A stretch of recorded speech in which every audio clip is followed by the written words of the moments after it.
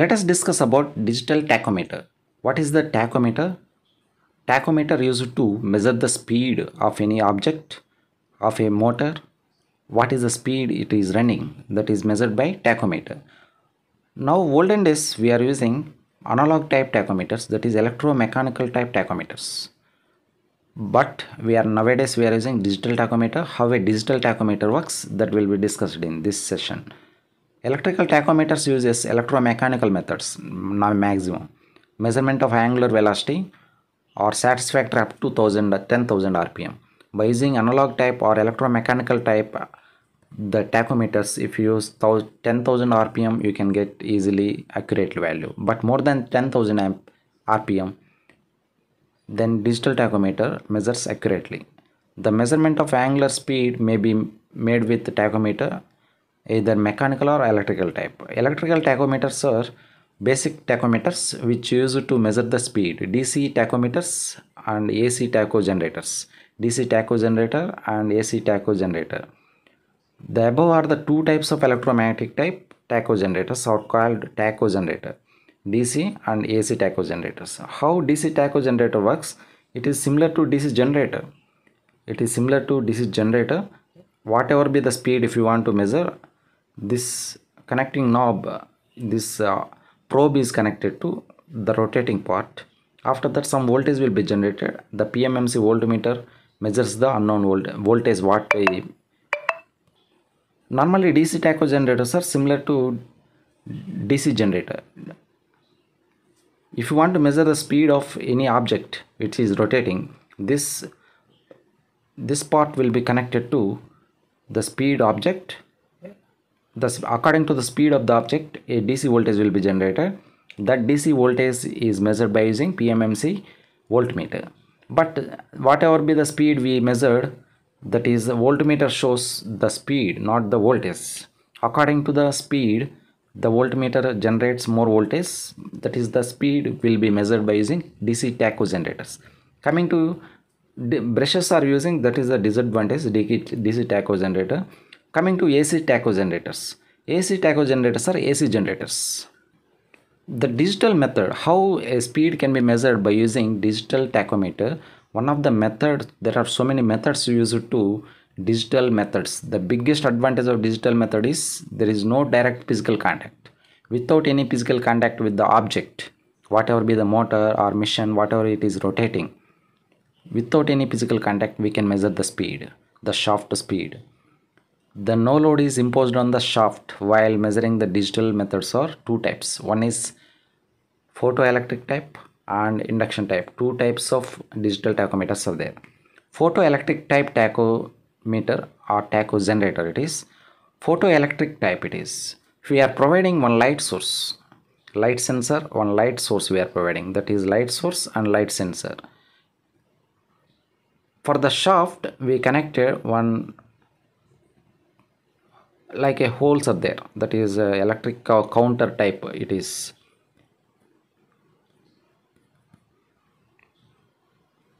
To measure the speed of any object we are connecting to the shaft. A holes disc number of holes are provided on one disc why we are connecting this disc is light source is be provided at one side another side the receiver light ray sensor it is connected. When it rotated a light will be reached to source. Light source will be reached to sensor. And how many times the light source reached to sensor it will be counted. That is light source is suppose if the rotor is shaft is rotating then it also rotate. The disc having holes that also rotate. But the holes are when light source is on the light will be traveled to reach the light sensor how many times the light sensor it reached? The light source is fixed at one side of the disk. The light sensor senses the light source and light falling on the sensor produces an output pulse. Number of pulses will be counted according to that. If the number of pulses are less the speed is will be less. That means the light uh, sensor receives number of pulses will be less. You can see when the speed of motor or machine is very slow the number of times the disk rotate is very low. Number of holes is connected light source a light source and light sensor received very low number of pulses will be generated. For each time the light source received to light sensor produces a pulse. The number of pulses are will be less will be produced when the speed of the shaft is low. The freak like that photoelectrode type tacho generator works and tooth rotor type tacho generator another one is tooth rotor type tacho generator it is similar to encoder encoder. Whatever be the speed if you want to measure for that shaft we connected a two teeth number of tooth like that uh, teeth. It is known as teeth it is known as teeth. Again an encoder will be connected. Number of count pulses will be counted when it reach to the teeth is reached to it is a magnet type. When teeth reached a, a pulse will be generated. That is electronic counter will be counts number of pulses. That means for shaft it is connected a, a tooth rotor type it is. Number of times teeth or tooth is connected to is comes to this position then if if uh, it it measures that is it is encoder type encoder wheel we are connecting for this type of shafts. Mostly this type of shafts we are using in industries to measure uh, continuously the speed measure monitoring is required for some areas.